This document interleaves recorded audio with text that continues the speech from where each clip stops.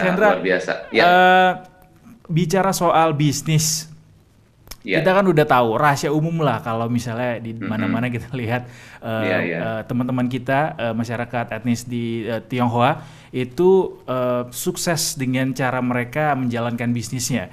Kita bisa banyak uh, lihat banyak contoh bahwa uh, di mana-mana uh, uh, teman-teman kita etnis Tionghoa ini bisa sukses dalam menjalankan bisnisnya bahkan uh, sustain gitu dari mulai kakek uh, ke anak ke cucu itu bisa jalan terus coach.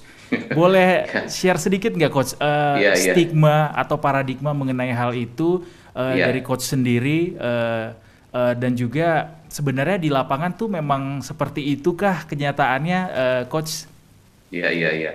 Oke, terima kasih nih uh, luar biasa sekali hari ini bisa tampil di detik.com ya detik.com ya maksudnya. Betul. Dan uh, saya uh, ya berkesempatan untuk sharing sebenarnya sama aja uh, hmm. semua etnis pun pasti memiliki tips sukses ya ataupun langkah-langkah menuju sukses. Cuman memang ya kebetulan saya memang background keluarga saya adalah keluarga Tionghoa hmm. dan yang memang saya rasakan sendiri, yang saya alami dan yang saya lihat gitu loh. Jadi memang saya menyaksikan langsung bagaimana keluarga saya ini uh, mendidik saya, menyemangati saya, me, me, membuat saya menjadi seperti inilah begitu hmm. ya.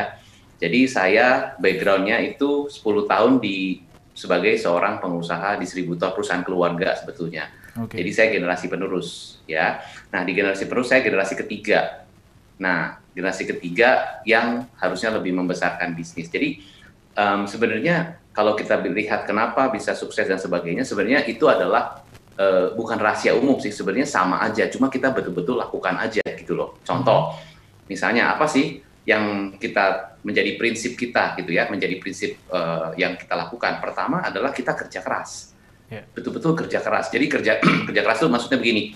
Jadi buat kita itu waktu sangat-sangat wah nggak mau rugi waktu deh gitu loh. Kalau bisa jangan ada waktu yang kita sia-siakan banget. Karena setiap waktu itu adalah uang. Jadi time is money itu benar-benar time is money gitu loh.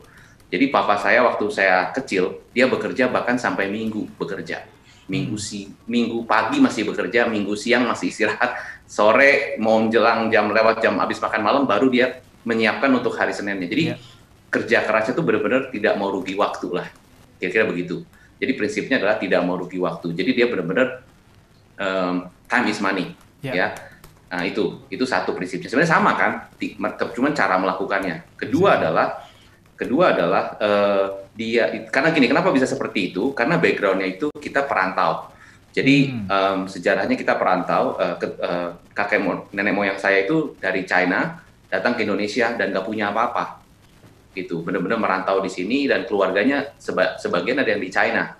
Ya jadi mereka datang ke sini untuk ya mencari inilah pokoknya merantau dan nggak punya apa-apa. Jadi sudah terbiasa sudah terbiasa untuk uh, bekerja keras gitu ya dan waktu itu kan mengalami masa penjajahan Jepang dan sebagainya, ya. Romusa, jadi wah benar-benar tuh susah sekali.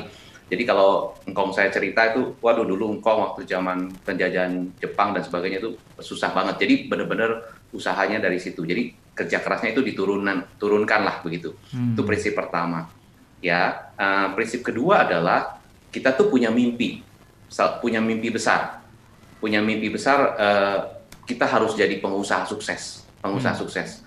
Ya, uh, pengusaha itu artinya kita bisa menciptakan sesuatu yang bisa kita uh, berikan kepada orang lain. Jadi kita ciptakan sesuatu. Tadinya nggak ada, jadi ada gitu. Ciptakan sesuatu. Mie misalnya, tidak ada mie, kita bikin apa, akhirnya bisa jadi mie dan orang bisa makan. Jadi pokoknya begitulah. Jadi ya, ya. ciptakan ya. sesuatu, mengkaryakan kayak gitu. Nah, uh, ada perbedaan. Dulu kita mungkin nggak ngerti tentang perbedaan antara pedagang dan pengusaha. Ya pokoknya kita dagang deh Hmm. Ya, prinsipnya kita cuan, untung gitu loh ya. Jadi yang penting untung. Beli di sini sepuluh ribu, dijual di sana tiga puluh ribu, untung dua puluh ribu. Udah itu aja. Yang penting untuk bisa makan begitu. Hmm. Terus makin lama makin lama makin besar, lama-lama kita punya mimpi besar dari pedagang, akhirnya jadi punya pabrik. Gitu loh. Punya pabrik duit dari mana? Gitu ya.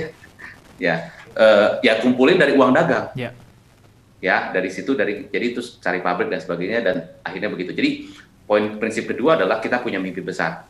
Siapa bilang kita cuma uh, mungkin nggak punya apa-apa dan segala macam, kita nggak bisa punya pabrik. Kira-kira begitulah prinsipnya. Okay. Jadi kita bisa mimpi besar. Jadi sebenarnya budaya ini tercipta dari proses sejarah yang panjang ya coach ya. Jadi sehingga panjang. bisa membentuk sampai seperti sekarang ini seperti yang tadi coach bilang uh, bahwa mentalnya adalah mental petarung begitu. Sama seperti yes. uh, mental uh, seorang pengusaha yang uh, kita tahu pada umumnya memang harus punya mental petarung, mental baja. Betul. yang juga dimiliki oleh teman-teman kita di etnis uh, Tionghoa dan juga mungkin di etnis yang lainnya juga mungkin seperti itu. Tapi kalau kita yeah. lihat memang uh, paradigmanya atau stigmanya di masyarakat memang sepertinya apa pun yang dilakukan oleh uh, teman-teman kita di etnis Tionghoa uh, sepertinya akan berhasil lah coach ya karena tapi sebenarnya bukan bukan karena etnisnya tapi memang karena etos kerja, budayanya, prinsip kerjanya yang tadi sudah disebutkan oleh coach tadi uh, seperti kerja keras tadi dan juga punya mimpi besar tadi dan ingin namanya menciptakan sesuatu uh, sehingga akhirnya bisa uh, uh, berkembang bisnisnya dan juga berjalan dengan uh, berkelanjutan gitu.